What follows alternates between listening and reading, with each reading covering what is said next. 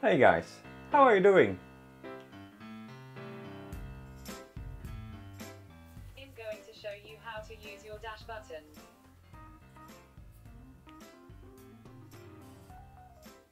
So get your buttons ready and let's start the tutorial.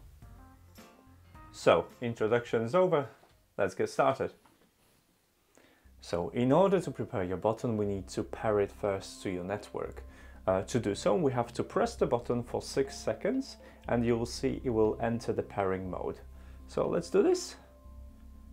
The light will start flashing and when it's blue, like this, it's in the pairing mode and then go to your Wi-Fi settings and you will be able to find it on your uh, Wi-Fi list. It's under Amazon Configure Me. So we need to connect to this network and then open the web browser. The web browser should be opened on the, the IP address which is 192.168.0.1 and this page will ask you to configure your um, Wi-Fi access.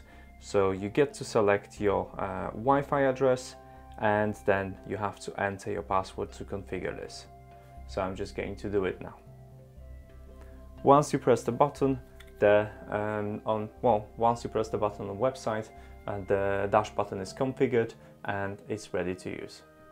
As we're going to be sending messages uh, to the PC and the mobile, we're going to use Auto Remote. In order to configure this, we need the keys. Uh, to get the keys, just copy the links from the mobile and from the browser and go to that website. In the um, section above in the address, you'll find the Google keys available.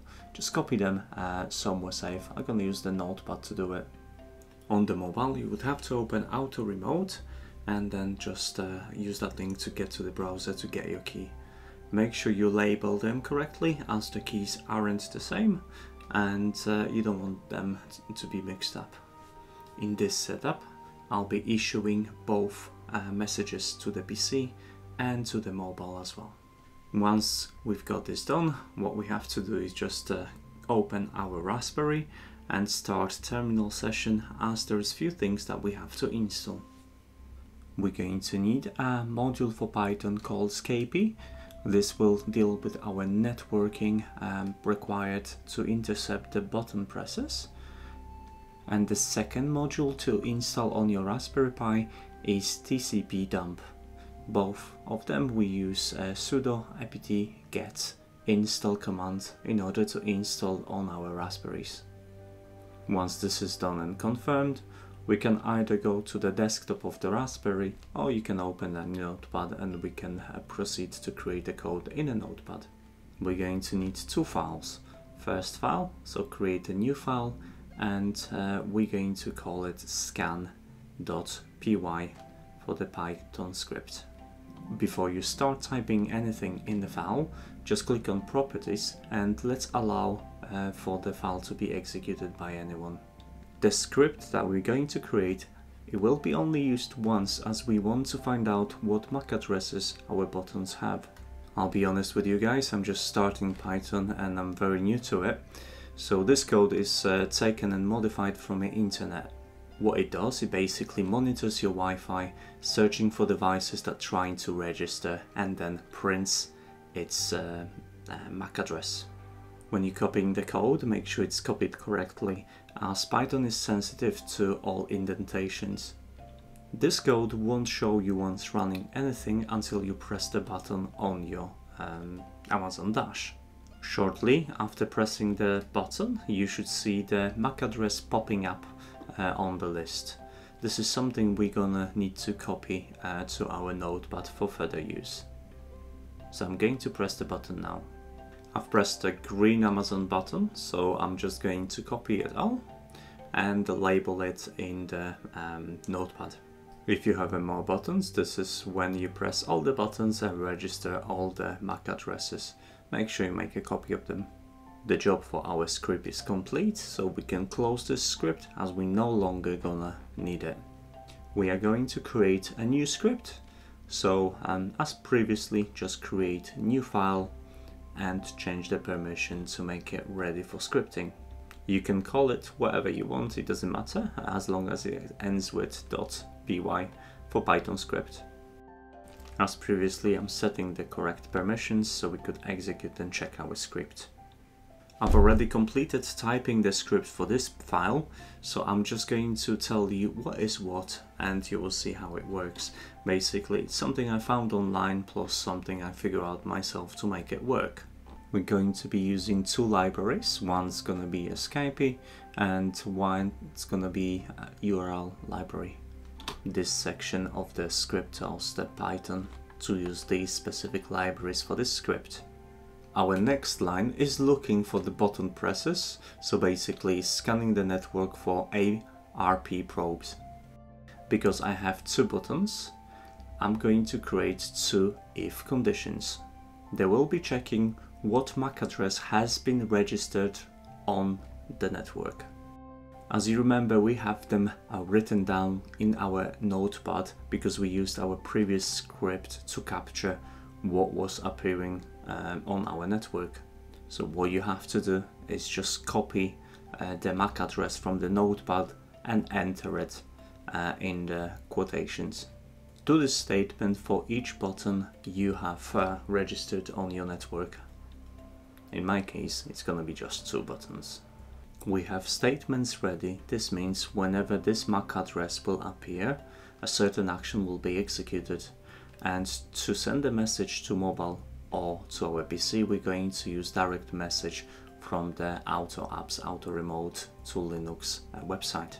This is the moment where you need your key in order to enter it in the string uh, highlighted on the screen so your message would be sent to correct device.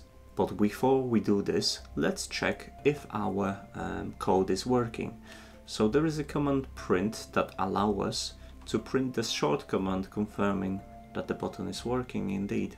So if I'm gonna press the uh, green button, I want the script to print Amazon green and if I'm gonna press the red button, obviously I want um, the script to print Amazon red. Be careful with the correct formatting of your script as otherwise the script might return some um, errors. Now I've got two variants ready, so all I have to do is just test the buttons to make this script loop to make this script loop unlimited time we have to copy the last line. We have to save our script and run it. You can either control s to save it or just hit f5 this will prompt us to save our script and then run it now, if any one of you is very experienced at this, I'd like to get some help because sometimes I get this error presented on the screen and I'm not sure how to solve it myself to be honest. However, running the file multiple times will allow you to execute the script correctly. If you press the button now, we'll see corresponding name displayed on the um, screen. I'm trying to press the red buttons now. Okay, so everything's working. Let's go and make sure now we can send the messages to our PC and to our mobile. We're going to create two string variables, one that will be responsible for sending a message to PC and one that will be responsible for sending a message to the mobile. In the double quotations, we're going to input the message um, link containing your key that we get from the first step in this tutorial. Your variables should be contained within the if statement, so make sure that the code is properly indented. Everything is ready, so uh, let's open the notepad and start copying our code. Obviously, if you only have one device, you don't need to do the order string also be careful what uh, messages you're pasting in to make sure that the correct message is sent to the correct device.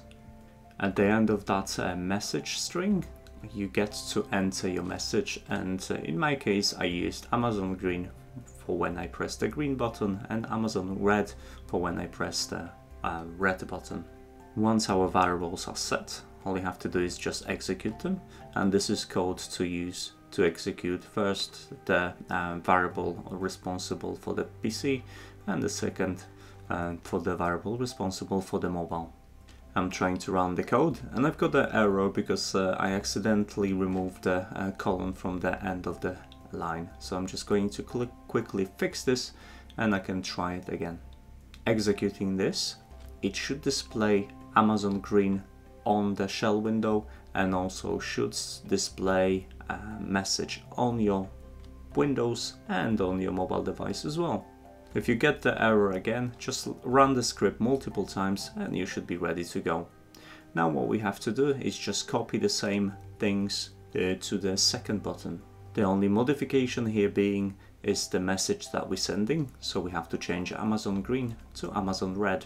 Please make sure that everything is correctly formatted and uh, when your code is ready, you can start executing it. As you can see, all I have to do now just changing the messages at the end of the string from green to red so the correct button press would be recognized and correct message has been sent to uh, my device and then I can test the code. Running code the first time I get the same error again and unfortunately right now I don't know how to fix it however running it again um, provides me with the correct information and right now the code will be looping constantly and when I press the button it will work. Let's test the other button then. I'm pressing the uh, red button and after a few seconds I've got confirmation that it has been pressed correctly. Obviously by that time you have a correct uh, key supplied to your code. I'm testing it now with my correct keys. When I press the button the message notification display on my Windows and also on my phone. You notice that I don't have uh, any Amazon red and green displayed in a Python window. This is because I removed the confirmation and if you don't want them to appear there all you have to do is just open your file and comment out a piece of code responsible for uh, printing. All you have to do is really put the hashtag in front of it on delete or delete the line. So my ending hint is don't start the script just yet automatically until the error is fixed. If you've got a solution to this error, let me know in the comments or send me a message and I'll say take care and thank you for watching guys. Uh, if you're already subscribed, I'll see you in the next video.